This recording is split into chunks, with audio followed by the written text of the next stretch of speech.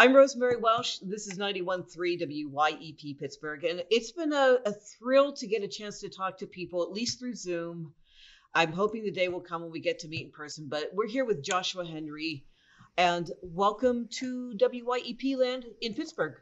Thank you, Rosemary. Thanks for having me here. So, for a lot of our listeners, you're going to be a new name to them, which is fine. That's what part of what our job is here at WYEP is to introduce folks to not it seems odd to say a new person because you've been around for a while but you you are maybe taking a new direction in your music. So before we get to any of that could we get a song for you just so we can lure the people in? Absolutely absolutely. What i'll play for you first rosemary and everyone is my the first song i ever released uh, this was november of last year. It's called hold me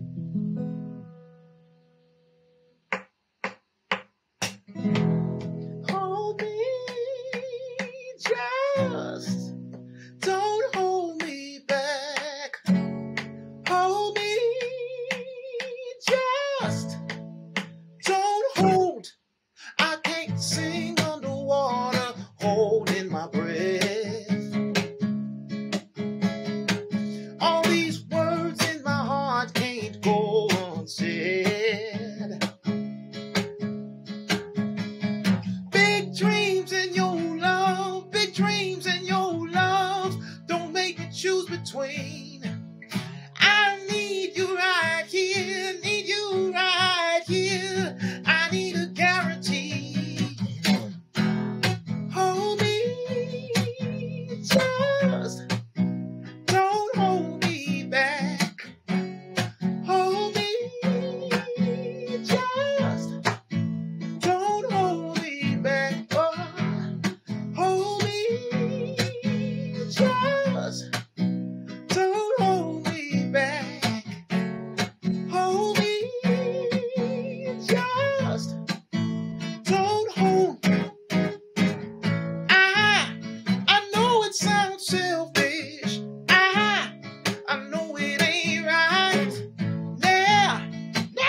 Yeah, that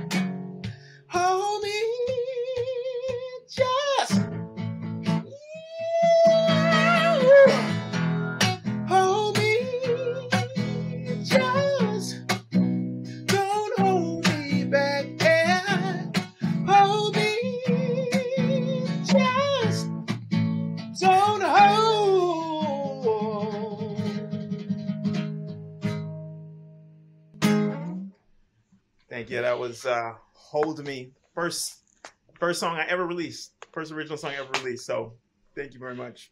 That's a big step. That is a really big step. The first song that you ever released. So, um, is it the first? I'm going to assume it's not the first song you've written. No, I've written other songs before. I've been writing songs for probably since 2012. But um, first one that, that I just I let out and say, you know what, I'm gonna we're gonna make it happen. Well, I hear that the um, guarantee is in that song, which is the title of your EP. Mm-hmm. So, um, and it is an EP. So why not wait until you have a whole album? Is it just you really needed to get this out now? You know, yeah. I mean, I, I, I wrote this these songs last year in, uh, in, the middle of a pretty hard time all of us were having. But um, um, why why just the EP now? We wanted to tease this out over this year, and, and I will be releasing a, a full album later on this year. But um, almost like a, a, test the waters type of deal. Um, so it, it, you know, it feels good to just give a little appetizer before the full main course comes out. Well, you got to tell me about who you were working with on this because you um, you went for the the brass ring and who you were working with. yeah, you know, I I was really fortunate to be able to work with a guy by the name of Neff-U, um, an incredible producer. His, his name is Theron Feemster. He goes by Neff-U though. He's worked from everyone, Rosemary, from Michael Jackson, Dr. Dre, Justin Bieber, Maroon Five, like Doja Cat. the list goes on and on and on and on. And he really encouraged me with this EP um, to use my entire voice. As you hear with Hold Me, like I, I'm using my entire huge high falsetto all the way down. And he just, he encouraged me not to limit myself, not to try to sound like anything else. Um, thankfully, I've got, I've got a lot of, a lot of tools to work with and, and you need someone in your corner to be like, don't, don't just use this much, use all you have. Um, so Neff-U, shout out to Neff-U, he's incredible. Well, as you're starting do, so doing something in your career that's a little bit of a different direction for you, it never hurts to have somebody who comes in and says, you know what, I think you could do this because they're going to expand what it is you think you can do or what you even know that you can do. Absolutely, yeah. You know, I I I, I met with other labels over over the last several year several years, and you know, you go into a label sometimes, or you meet with other producers, and they're like, "Okay, we want you to do, oh, let's do this Usher thing, let's do this Brian McKnight thing, or let's do this," you know, and um, but so it was a really breath of fresh air working with him, you know, because it, it gave me a confidence in everything that I am to not, you know, to paint with bright colors, you know, and many colors. Um, and I don't feel what's cool about this EP guarantee for me that the Neff-U encouraged me to do is it's not it feels super authentic to who I am. You know, that song Hold Me is is about feeling really vulnerable at a time when, you know, your artistic outlets are, are all gone and you're you're telling the people that are close to you like I want to keep going. I have a vision for where I want to be, but I also need your love as my, you know, my anchor. So, you know, from vulnerability to, you know, whether it's a little bit of politics or relationship with my um, my family. Um, I didn't want to limit myself on, on the things and, and that I talked about as well as the sounds that I was using. Now, the name Joshua Henry for a lot of folks, they might not know your name if they're not in New York. They don't know what's going on on Broadway. You have been on the Broadway stage. You've done Hamilton. You've done Carousel, playing you know one of the major characters, Billy, in that. Um, you've worked in the Scottsboro Boys, which was what the last thing that Kander and Ebb worked together on before you know they that team was broken up permanently. Yeah. Uh, so it's a very different type of singing, I would imagine. It's one thing to be in character, and where here you can open up and do what you want. Maybe that's not the case when you're doing a show. No, when you're doing a show, you are you are in the amazing parameters of, of what the, the, uh, the composer and the writers tell you. Um, and you're wearing a, you're trying to bring yourself to it, but there's a mask that you wear. What I love about being a recording artist um, is that it's fully me. It's fully me from the heart, and you know, it's how it, it's how I feel. It's what my unique sound is, um, and you're you're I'm letting folks in that way. But you know, even in my Broadway career, it was important to me to be the the most versatile singer that I could be. You know, and I and I really spent time not just trying to sound like a Broadway star. The shows that I've done from American Idiot was rock. You know, Porgy and Bess or or, or Carousel was straight up um, operatic. Um, you know, and Hamilton is like R and B and pop styles, which is more where I live. But I I think that sort of prepared me, you know, in, in addition to being in bands over the course of you know when I grew up in South Florida to to to get a variety of sounds and then pick my sound based on how I'm feeling. You know, so I think in, a, in certain ways that you know the diversity of my Broadway career uh, prepared me and and emboldened me to use my full sound as a recording artist. Well, we're talking with Joshua Henry here today, and uh, I was wondering if you do a couple of tunes for us because we got to let the folks know what the music's about. Yes, absolutely. You know what? Um, eh, speaking of Hamilton, I, I want to do a song from Hamilton because uh, I recently had twins. Um, they're 5 mm-hmm. weeks old now, and this song that I got to sing while I played Aaron Burr for about a year and a half um, in the first national tour means so much to me, um, and hopefully you enjoy it.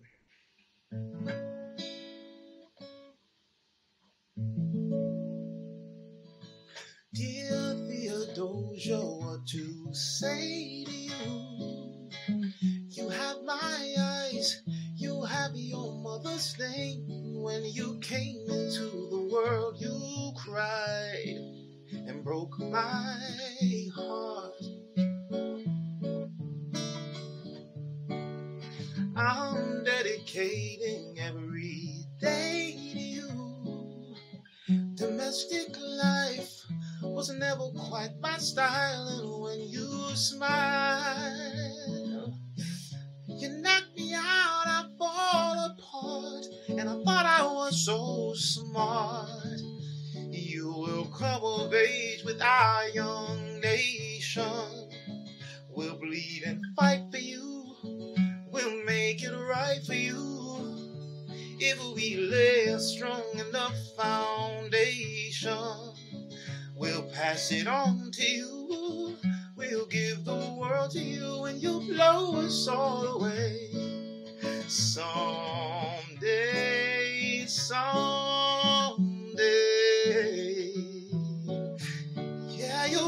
you'll blow us all away.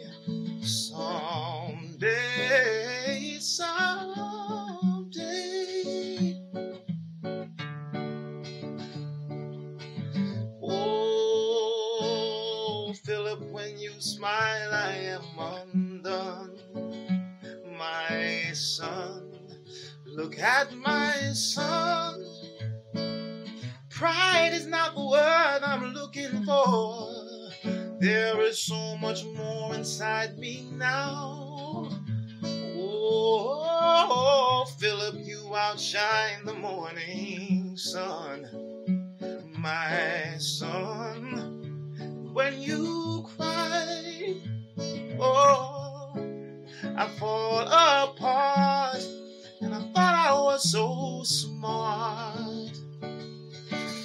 My father wasn't around.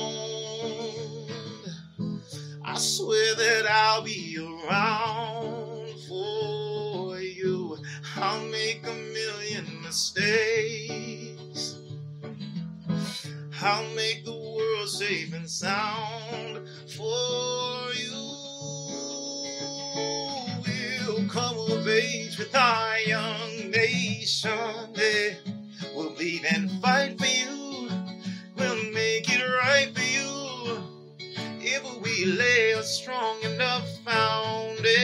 Foundation, we'll pass it on to you. Hey, we'll give the world to you, and you blow us all away.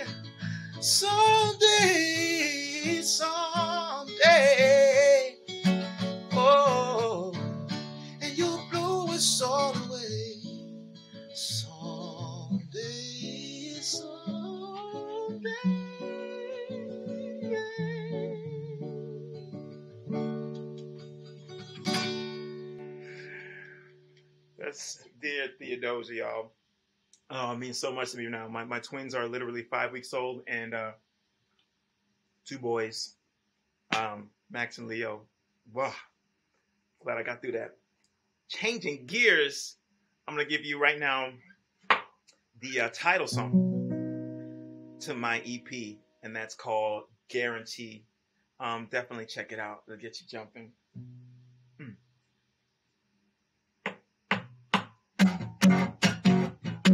Mm-hmm.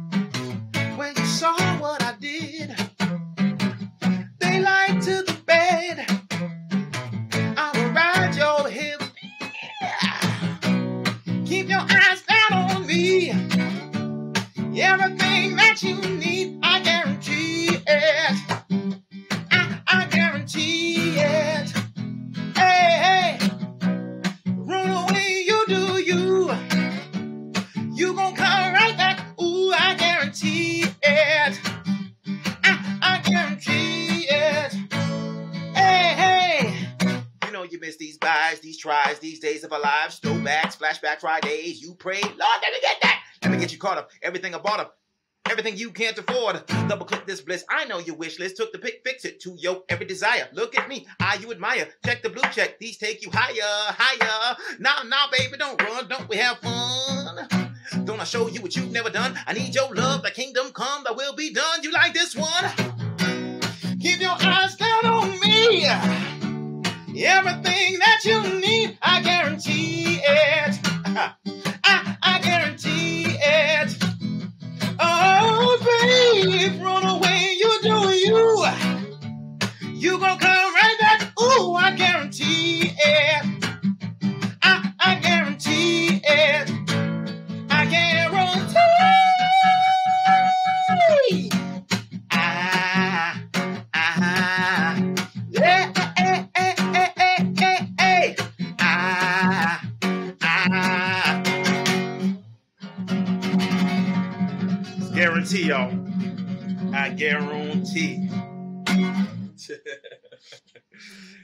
Thank you. It's we're here with Joshua Henry on 91.3 WYEP, and uh, so Guarantee is the name of the EP. And just based on what I'm witnessing here, I, I think you picked the right profession. Thank you, Rosemary.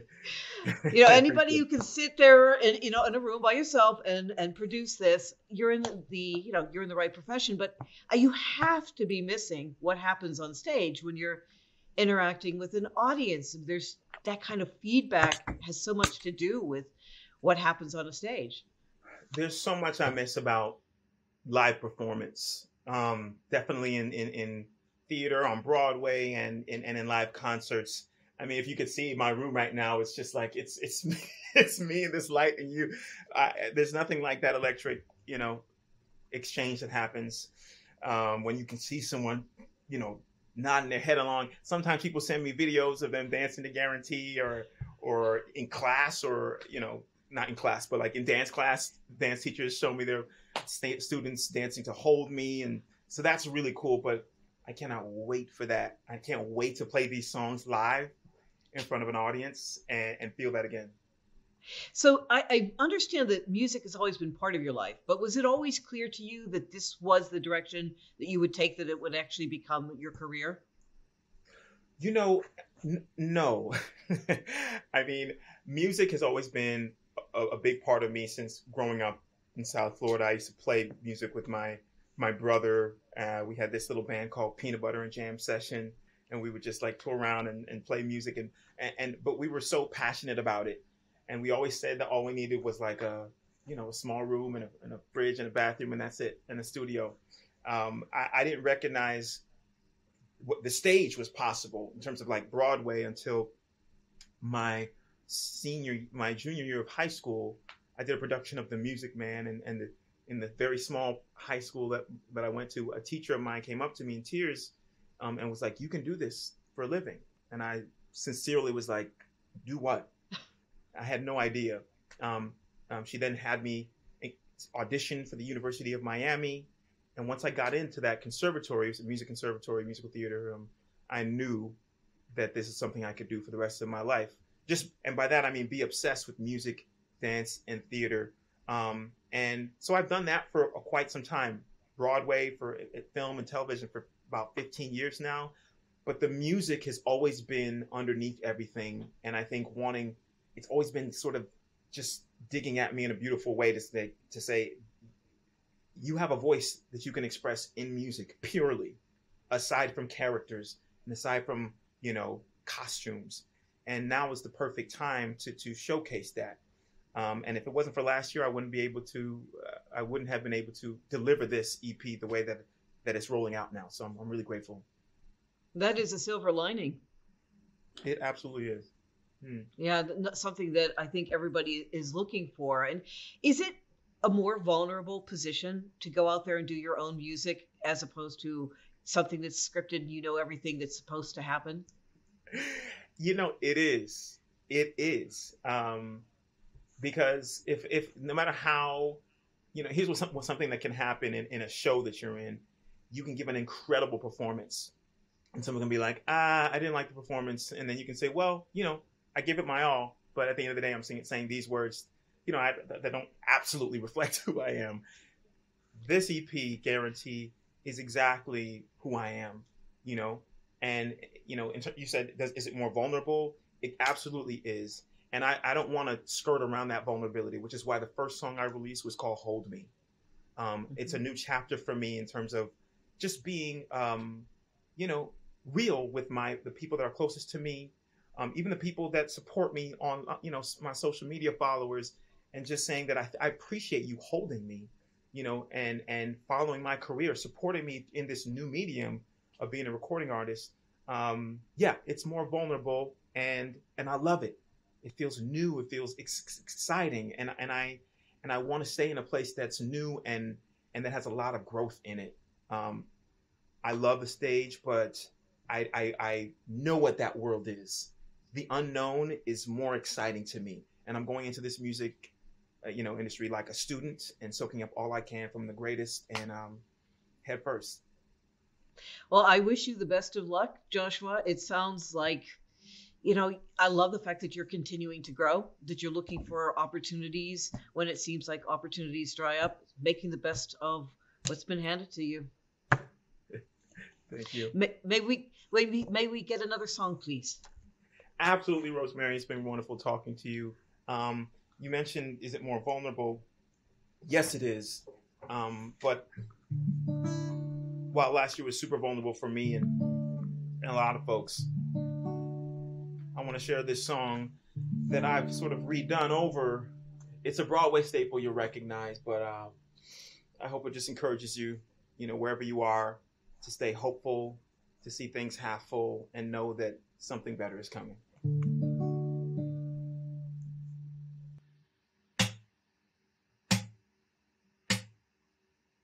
The sun will come out tomorrow Bet your bottom dollar that tomorrow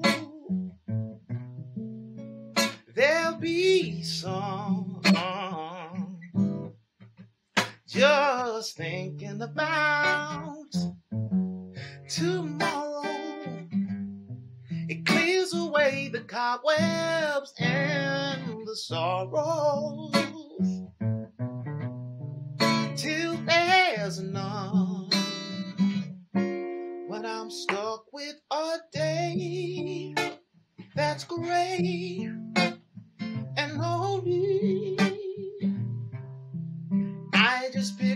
pick